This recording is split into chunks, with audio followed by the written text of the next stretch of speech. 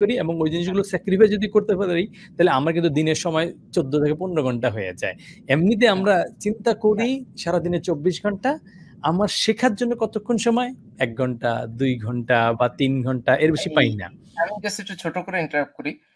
ভাই এই কথাটার সাথে আপনার একটা কথার মিল আছে। আপনি অনেক সময় বলেন যে তুমি যদি ঠিকঠাক মতো প্ল্যান করে কাজ করতে বসো তুমি তিন দিন কাজ করার পরে তোমার কাছে আর কোনো কাজ থাকবে না। আমি দেখছি দ্যাট ইজ ভেরি ট্রু এটা একটা বড় কারণ হইতেছে যে আমরা যদি আমাদের লাইফে কোন কোন জিনিসগুলো আমাদের কাজ করতে প্রবলেম ক্রিয়েট করতেছে বা ডিস্ট্রাকশন ক্রিয়েট করতেছে সেইটার একটা লিস্ট করে ফেলি এন্ড দেন আমাদের কি কি করতে হবে সেইটার একটা প্ল্যান আমরা যদি দাঁড় করে ফেলতে পারি তখন আসলে এই তিন দিন পরে কাজ করার মতো কিছু আসলে থাকে না আর কি কারোর হাতে মানে অনেক সময় সারাদিন মানে কাজ করার জন্য তুমি যদি ঠিক মতো করে আসলে সলিড বসো মানে হ্যাঁ। কাজ আসলে শেষ হয়ে যায়। মানে মানে অনেক সময় সারাদিন আসলে চিন্তা করে কুল পাওয়া যাবে না আর কি সো রাকিব ভাইকে আমার পরবর্তী প্রশ্ন যে একটা মানে তুমি কিছুটা অ্যান্সার দিয়ে দিছো তারপর তুমি যেহেতু অনেক পাঁচ বছর একদম ক্লোজলি ডেভেলপারদের সাথে কাজ করছ এখনও ডিফারেন্ট অ্যাঙ্গেলে কাজ করতেছো এই যে ট্রানজিশন জার্নিটা একজন ফ্রেশ ঢুকলো সামহাও ব্রেন স্টেশন টোয়েন্টি থ্রিতে হোক বা যে কোনো অর্গানাইজেশনে ঢুকে সে কিন্তু একটা ট্রানজিশন দিয়ে গ্রো হচ্ছে। মানে একটা পার্সন যে কোনো জায়গায় যে কোনো জায়গার মধ্যে গ্রো হবে। সেই গ্রোথগুলোর পয়েন্টগুলো তুমি কিছুটা হয়তো কীভাবে তুমি খেয়াল করছ যে আচ্ছা এই এই মাইন্ডসেটগুলো বা এই লাইফস্টাইলের কারণে অথবা এই এই জিনিসের কারণে একটা পার্সন খুব রিজনেবল টাইমের মধ্যে সে ম্যাচিউর হয়ে যায়। মানে একটা ম্যাচিউরিটির একটা বিষয় আছে। টাইটেলটা হয়তো কারও দুই এক দুই বছর পরে আসতে পারে বা আগেও আসতে পারে যে সিনিয়র ডেভেলপার হইলাম। সেটা হচ্ছে হয়তো একটা টাইটেল সেটা একটা সময় আসলো। কিন্তু ইন্টারনালি বা তার কাজে কর্মে বা তার অ্যাক্টিভিটিসে বা তার রেসপন্সিবিলিটি নেয়ার ক্ষেত্রে সে সিনিয়র হয়ে যায় অনেক ক্ষেত্রে। অর্গানাইজেশনের হয়তো প্রমোশন ছয় মাস পরে এক বছর পরে বা দুই বছর পরেও আসতে পারে কারও ক্ষেত্রে। সো এখন ফ্রেশ টু একজন মানে ম্যাচিওর ডেভেলপার এইটার ভিতরের ট্রানজিশনে তুমি হয়তো অনেক ডেভেলপার সাথে কাজ করছ তো যে কোনো একটা দুটো এক্সাম্পল নিয়ে আমাদেরকে এই জার্নিটা এই ট্রানজিশনটা এই গ্রোথটা সম্পর্কে যদি আমাদেরকে একটু সাথে করে সামনে আগাও আর কি। এই জায়গাটাতে ইন্টারেস্টিং ফ্যাক্ট হচ্ছে এটার ক্ষেত্রে ক্যারিয়ারে ঢোকার আগে যদি সে কিছু অ্যাক্টিভিটি করতে পারে ডেভেলপার হওয়ার বা ওই এবং অনেকে যদি কোনো জায়গাতে ইন্টার্ন বা জুনিয়র ডেভেলপার হিসেবে অলরেডি কাজ করে, আমি সবাইকে যে জিনিসটা সাজেস্ট করার চেষ্টা করি, যে তুমি তোমার পুরো বছরে তুমি চিন্তা করো যে তুমি প্রত্যেক মাসে একজন বা দুইজন মানুষের সাথে দেখা করবা, কোনোটা ডেভেলপারের সাথে। এখন তোমাকে খুবই ডাইভার্সিফাইড প্রবলেম হইতেছে যে তোমার হয়তোবা ডেভেলপার তুমি ভাবতেছো তুমি ডেভেলপার হবা কিন্তু ডিপ ইনসাইড তুমি হয়তো বা ডেভেলপার হইতে চাও না। তুমি হয়তো বা অন্য কোনো একটা জিনিস হইতে চাও। অন্য কোনো একটা জিনিস মানে তুমি এসকিউ হইতে চাও, অথবা তুমি হয়তো বা বিজনেস অ্যানালিস্ট হইতে চাও প্রোডাক্ট ম্যানেজার হইতে চাও প্রজেক্ট ম্যানেজার হইতে চাও, এবং এই সবগুলোর জন্য কিন্তু টু সাম এক্সটেন্ট তার টেকনিক্যাল নলেজ দরকার, এবং তার কিন্তু এই আমরা কোর্সের ভিতরে যেগুলো দেখাইতেছি, এগুলোর একটা প্রয়োজন অবশ্যই আছে। তাকে বুঝতে হবে যে টেকনোলজিগুলো ফান্ডামেন্টালি কীভাবে কাজ করে। কারণ একটা প্রজেক্ট ম্যানেজার একটা সফটওয়্যার কোম্পানিতে কখন ইফেক্টিভ হয়? যখন সে টেকনোলজিগুলো বুঝে। কারণ একটা প্রজেক্ট করতে হলে কিন্তু শুরুতে এস্টিমেশন করতে হয় ডেভেলপার এস্টিমেশন বলে যে এই কাজটা করতে সাত দিন সময় লাগবে, পাঁচ দিন সময় লাগবে।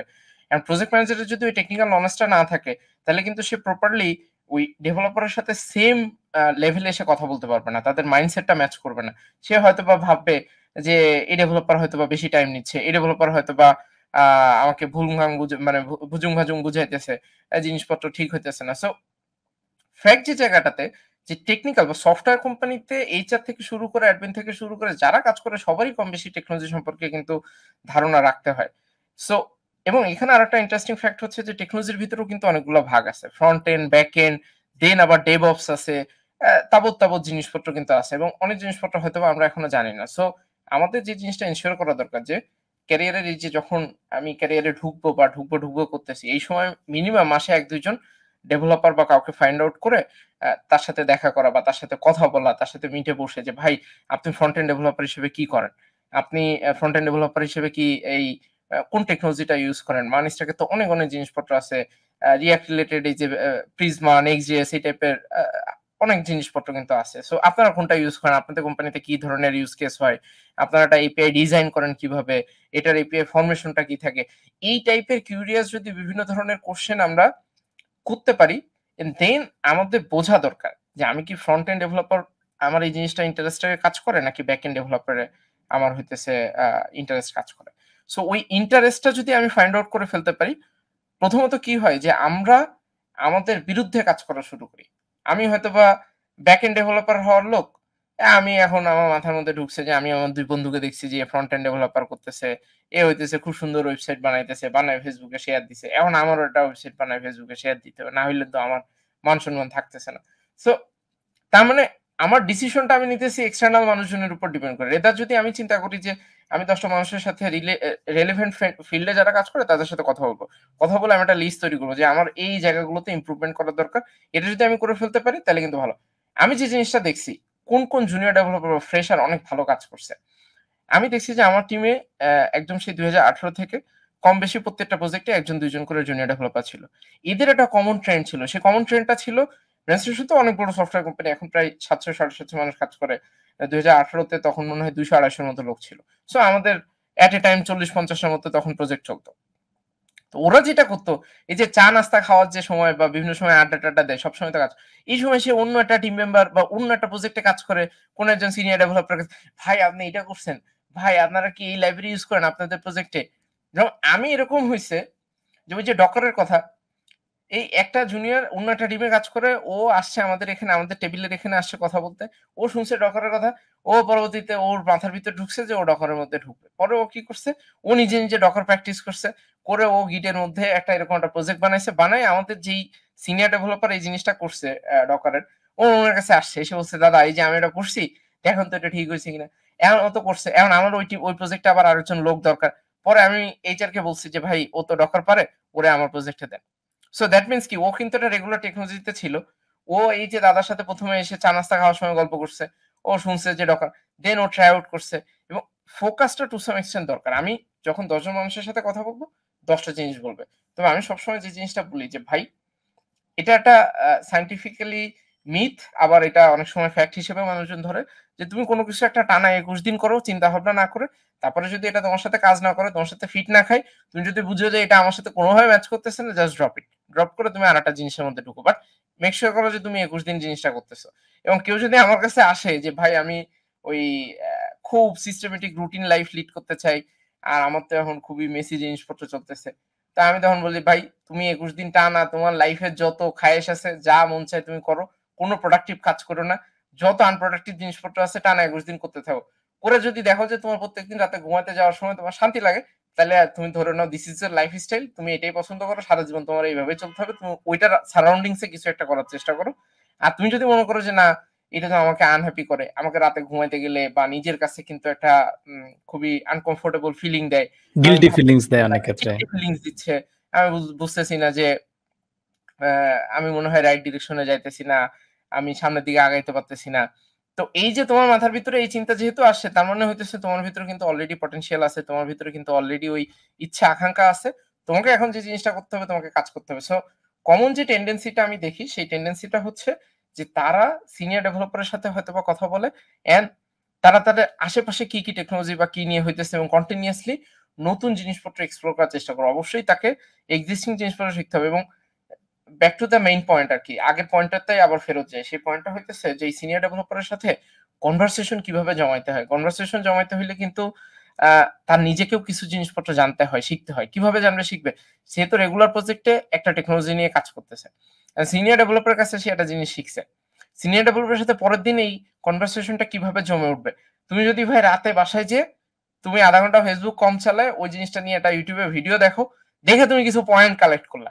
কালকে আমি ভাইয়ের সাথে এটা নিয়ে কথা বলব। তাহলে ভাইও কিন্তু এক্সাইটেড ভাইও তোমার সাথে এই জিনিসটা নিয়ে কথা বলবে এবং পরবর্তীতে তুমি কিন্তু একটা ডিফারেন্ট জিনিসপত্র দেখা যাবে এক্সপ্লোর করার চেষ্টা করবে। সো প্রথম তিন বছর আসলে খুবই খুবই কিউরিয়াস থাকা দরকার এবং জানার চেষ্টা করা দরকার। বোঝার চেষ্টা করা দরকার যাতে করে তার জন্য ফিউচারে সে কোন দিকে যাবে? সে কি ফ্রন্ট এন্ড ডেভেলপার হিসেবে ভালো করবে, নাকি ব্যাক এন্ডে ভালো করবে, নাকি সে এসকিউ বা কিউ এর মধ্যেও কিন্তু অটোমেশনের ব্যাপার আছে, সেখানেও কিন্তু কোড লিখতে হয়, সেদিকে যাবে। সো ওই ইন্টারেস্টটা যদি ফাইন্ড আউট করে, বের করে ফেলতে পারে দেন তার জন্য মানে লাইফ খুঁজি, খুবই খুবই ইজি হয়ে যায় এবং ইন্টারেস্টিং ফ্যাক্ট হইতেছে কেউ যদি এরকম একটা তার ইন্টারেস্টের জায়গা খুঁজে বের করে ফেলতে পারে, আমি একজন ডেভেলপার আছে ওর সাথে আমি এখনও খুব কানেক্টেড রন নাম।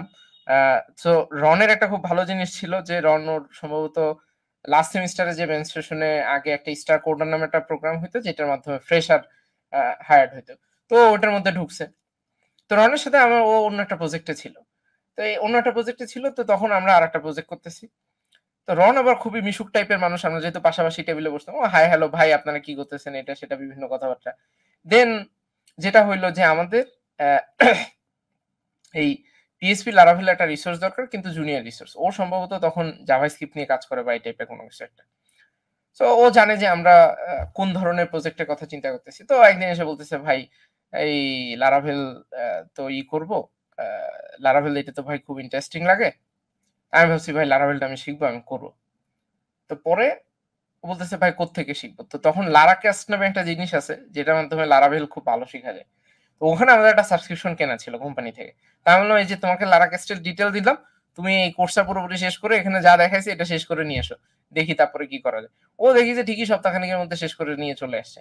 এবং যখন নিয়ে চলে আসছে, আমি দেখি যে ও তো খুবই ভালো। এবং ও লিটারেলি রেজিস্ট্রেশনে এভরি সিক্স মান্থস প্রমোশন পাইছে। এবং within three years he became senior developer এবং অ্যামেজিং অ্যামেজিং মানে ওর ওই একটা জিনিস খুব ভালো ছিল।